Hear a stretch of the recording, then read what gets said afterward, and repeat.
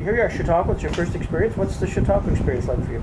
Oh, it's been magic. I mean, I think it's everybody has tried to explain it and no one's done it justice. So right. as soon as I said I was coming, I got just reams of emails from people trying to explain, you know, what what to expect and nobody even came close. And I think it's really been uh, you know, there are very few places in the world that really talk about tolerance and pluralism and trying to speak across boundaries and across disciplines that actually do it. You know, that's often a sort of self-congratulatory enterprise and it's code for, so come speak to my discipline. Uh, but this has been really an amazing cross-pollination of ideas and people and speakers and everywhere you go something is happening you know whether it's my six-year-old sat through an entire ballet uh, you know we, we went to an amazing lecture about civil rights in Israel for women.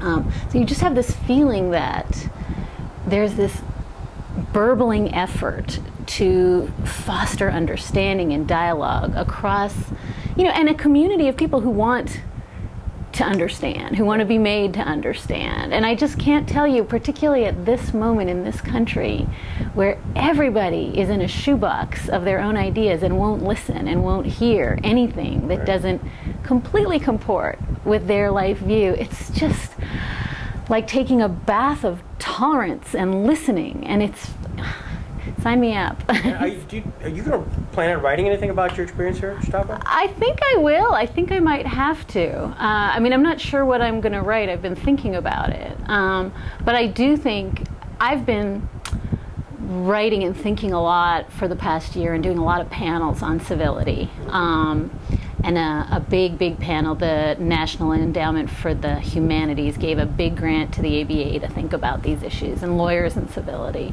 Uh, and I did an event with them this spring.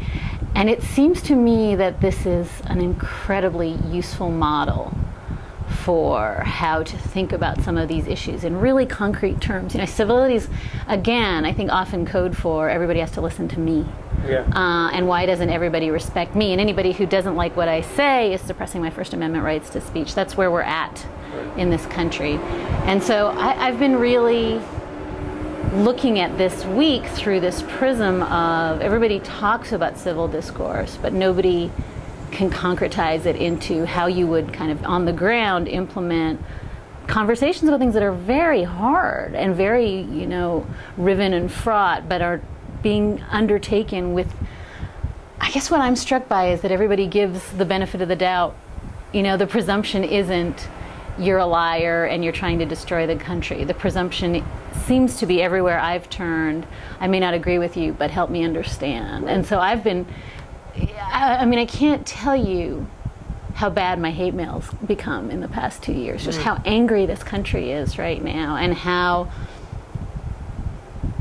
quickly we've come to a place. I think, particularly, you know, in the media, where we can't talk to each other anymore. Right. So I, I've been really doubly impressed by that, just in light of what I've been worried about and thinking about in my own career.